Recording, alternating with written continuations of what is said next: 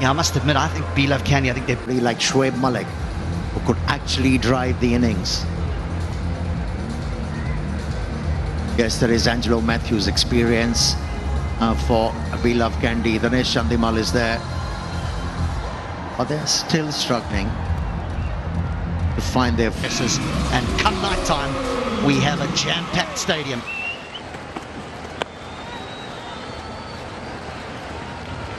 We've seen this a little bit as well, haven't we, with... Oh, nicely bowled. Bounce and a little bit of shape.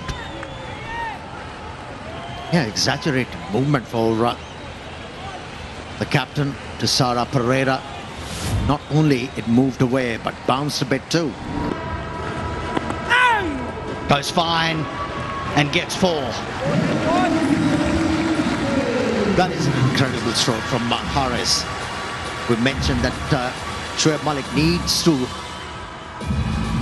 pitch the ball outside the off stump. That was quicker. And he fetched that delivery from outside the off stump.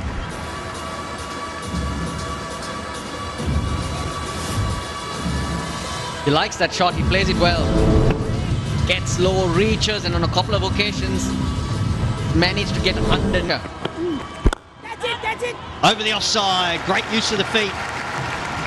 And that is two boundaries in a row. He's a good young batter.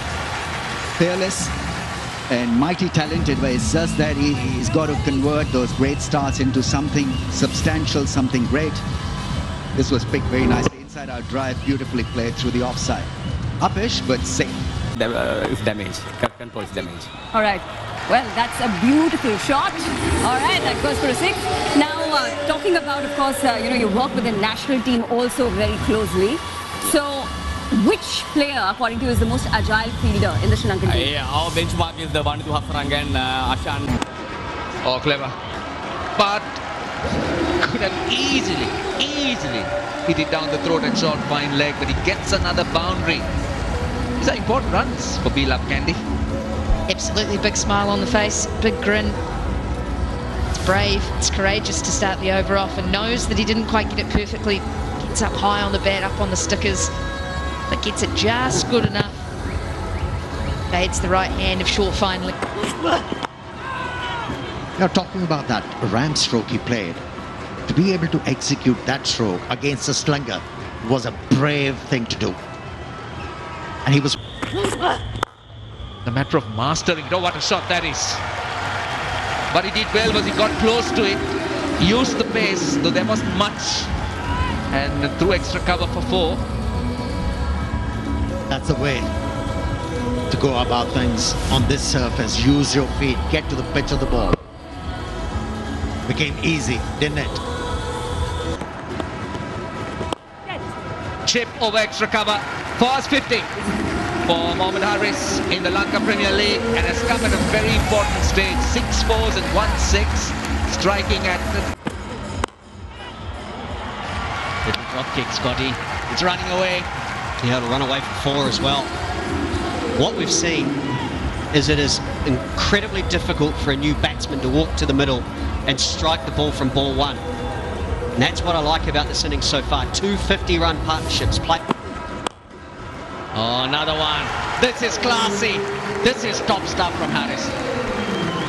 Yeah, I mean, that's scintillating stuff. That really is classy.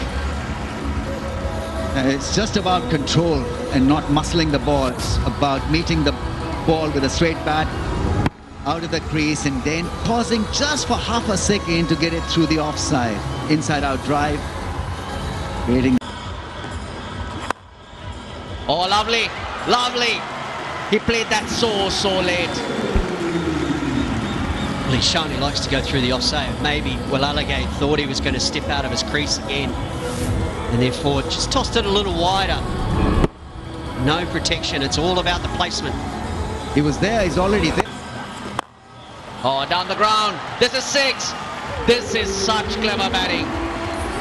from Haris because he's now toying with the bowling, toying with the field, and he's loving every moment of it. That's the other quality about this young kid. He enjoys batting, enjoys his game.